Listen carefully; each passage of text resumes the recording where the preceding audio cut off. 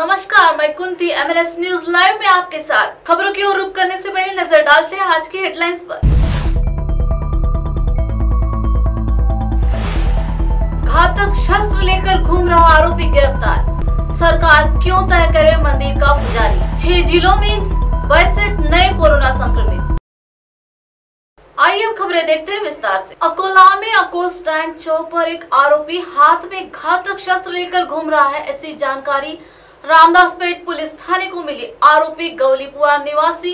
25 वर्षीय शेख अयूब नादली वाले को पुलिस ने गिरफ़्तार कर लिया। पुलिस को गुप्त जानकारी मिली कि एक युवक घातक शस्त्र लेकर अकोल स्टैंड चौक पर किसी वारदात को अंजाम देने के उद्देश्य से घूम रहा है।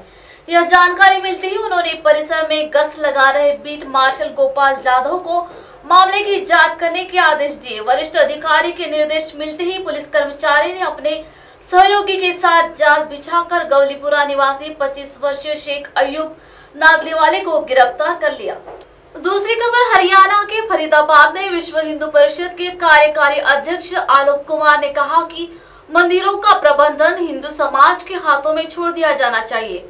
सरकार क्यों तय करे कि मंदिर का पुजारी कौन हो, पूजा कैसे हो? हालाँकि सरकार कानून व्यवस्था के साथ साथ मंदिरों की सुरक्षा का ख्याल रख सकती है। बैठक में दो अलग अलग प्रस्ताव पास किए गए। इनमें केंद्र सरकार से मांग की गई कि राज्यों में मंदिरों, मठों और धार्मिक संस्थानों को सरकारी नियंत्रण से मुक्त किया जाए।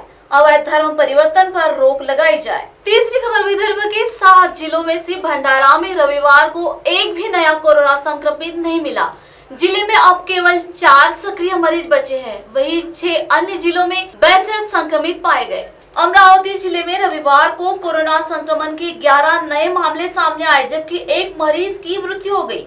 26 स्वस्थ हुए वर्धा ज़िले में 19 नए पॉजिटिव पाए गए, जबकि 9 स्वस्थ हुए यवतमाल ज़िले में एक संक्रमित मिला, दो स्वस्थ हुए चंद्रपुर ज़िले में 17 लोग कोरोना मुक्त हुए और 19 नए पॉजिटिव मिले।